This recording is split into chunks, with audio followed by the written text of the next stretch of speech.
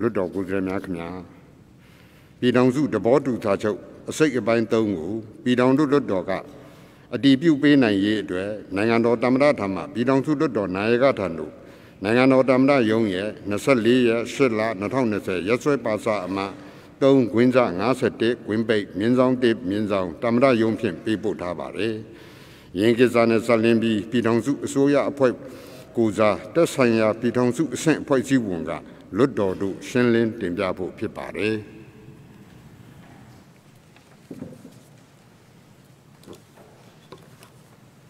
လေးစားပါသောပြည်ထောင်စုလွှတ်တော်နာယကကြီးနဲ့တကွာလွှတ်တော်ကိုယ်စားလှယ်များဧည့်သည်တော်များအားလုံးကိုစိတ်နှပြကျမ်းမာချမ်းသာပါစေကြောင်းကျွန်တော်ပြည်ထောင်စုရှင်းနေချုပ်ဦးထွန်းလုံးမှနှုတ်ခွန်းဆက်သပါတယ်နာယကကြီးနဲ့လွှတ်တော်ကိုယ်စားလှယ်များခင်ဗျာ2015ခုနှစ် အောက်တိုဘာလ15ရက်နေ့မှာ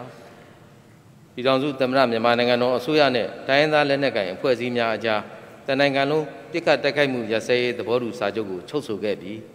2015ခုနှစ်ဒီဇင်ဘာလ10ရက်မှာအဆိုပါသဘောတူစာချုပ်ကိုပြည်ထောင်စုလွှတ်တော်ကအတည်ပြုခဲ့ပါတယ်။တနိုင်ငံလုံးပြစ်ခတ်တိုက်ခိုက်မှုရစဲရေးသဘောတူစာချုပ်အရဖွဲ့စည်းခဲ့တဲ့ပြည်ထောင်စုငြိမ်းချမ်းရေးဆွေးနွေးမှုပူးတွဲကော်မတီ Union Peace Dialogue Joint Committee UPDJC ကိုနိုင်ငံတော်သမ္မတရုံးရဲ့အမိန့်ကြော်ညာစာအမှတ်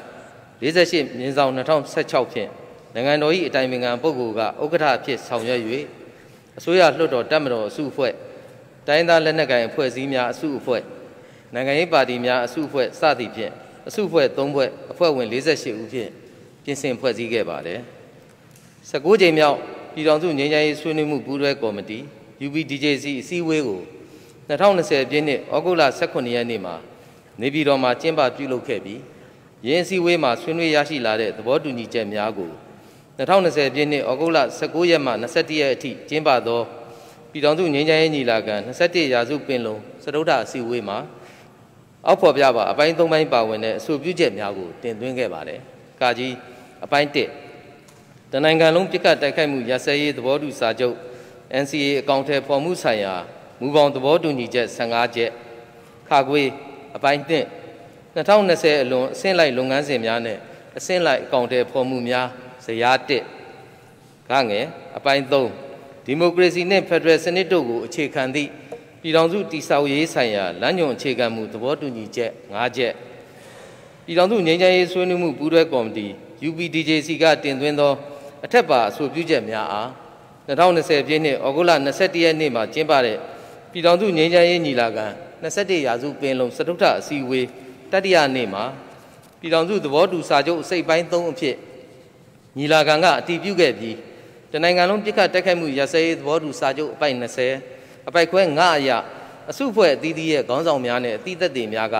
လက်မှတ်ရေးထိုးခဲ့ကြပါတယ်။တနိုင်ငံလုံးပြစ်ခတ်တိုက်ခိုက်မှုရစဲရေးသဘောတူစာချုပ်အပိုက်20အပိုက်ခွဲစာလုံးမှာပြည်ထောင်စုလွှတ်တော်သို့တင်သွင်း၍အတည်ပြုချက်ရယူခြင်းဟု၍၎င်း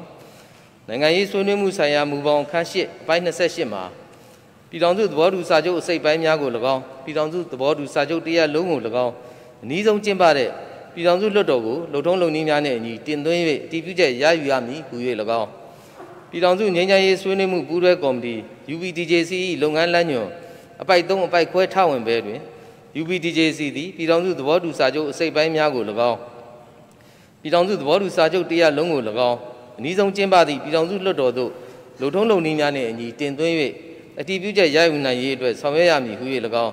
ဖော်ပြပါရှိပါသဖြင့်အတည်ပြည်ထောင်စုငြိမ်းချမ်းရေးညီလာခံ21ရာစုပင်လုံစတုထအစည်းအဝေးမှာအတည်ပြုလက်မှတ်ရေးထိုးခဲ့သောပြည်ထောင်စုသဘောတူစာချုပ်အစိတ်ပိုင်း၃ကို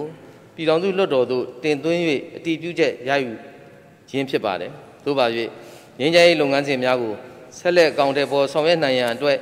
ပြည်ထောင်စုသဘောတူစာချုပ်အစိတ်ပိုင်း၃ကိုပြည်ထောင်စုလွှတ်တော်ကအတည်ပြုပေးနိုင်ပါရန်တင်ပြပါတယ်။အားလုံးကိုကျေးဇူးတင်ပါတယ်။လွှတ်တော်ကိုယ်စားလှယ်များခင်ဗျာ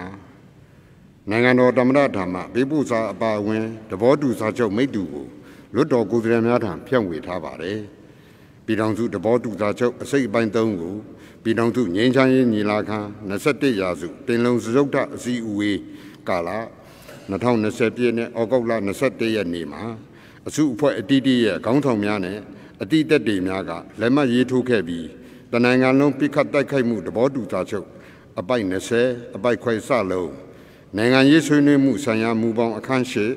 အပိုက်28နဲ့ပြည်ထောင်စုငြိမ်းချမ်းရေးဆွေးနွေးမှုပူးတောင်းပူးတွဲကော်မတီ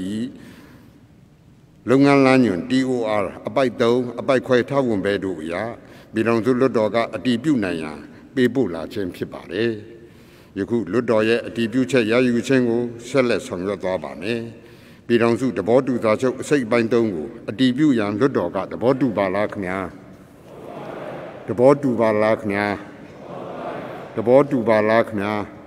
။သဘောမတူတဲ့သူရှိပါလားခင်ဗျာ။သဘောမတူတဲ့သူမရှိတဲ့အတွက်ပြည်ထောင်စုသဘောတူစာချုပ်အစိတ်အပိုင်း3ကိုလွတ်တော်ကအတီးပြုမှတ်တမ်းတင်ကြောင်းကြေညာပါတယ်